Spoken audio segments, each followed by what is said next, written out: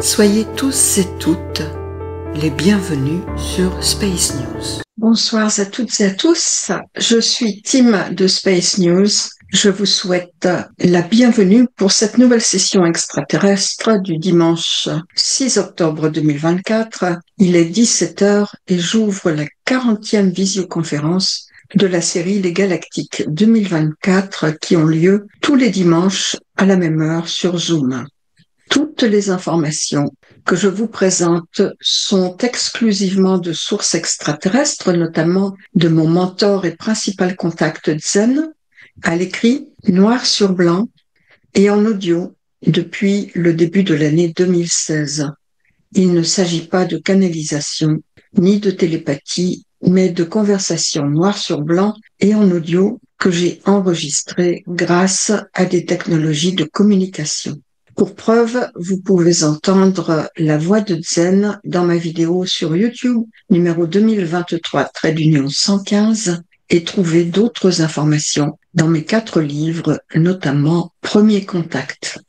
Il y a beaucoup plus dans l'ensemble d'un organisme que ce que l'on appelle la manière duelle de percevoir la vie en noir et blanc n'est que le reflet de la structure cérébrale du cerveau humain qui est divisé en deux hémisphères. Mais cette vision duelle du monde n'est pas perçue comme divisée d'un point de vue extraterrestre, en particulier des lignées qui ont un cerveau unifié. Chez les terriens, il y a une latéralité, c'est-à-dire que chaque hémisphère du cerveau interagit principalement avec la moitié opposée du corps. Les connexions se croisent. Le côté gauche du cerveau interagit avec le côté droit du corps et le côté droit du cerveau avec le côté gauche du corps. Les connexions motrices du cerveau jusqu'à la moelle épinière et les connexions sensorielles de la moelle épinière jusqu'au cerveau traversent toutes deux la ligne médiane au niveau du tronc cérébral.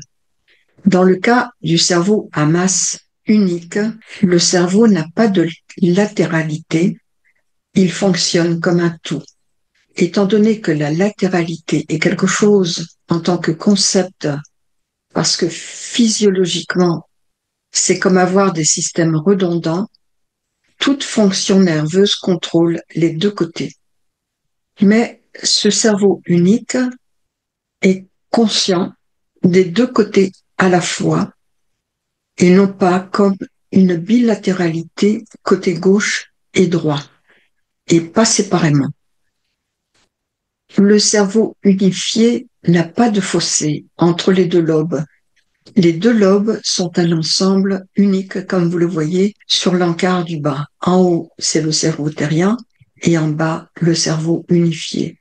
Il convient d'expliquer ici que le cerveau dit unifié est celui de nombreuses lignées extraterrestres, par exemple des lignées basées dans la constellation de la lyre, qui sont nos ancêtres.